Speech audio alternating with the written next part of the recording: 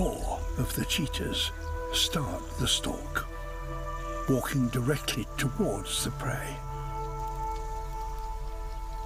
The fifth creeps around the side.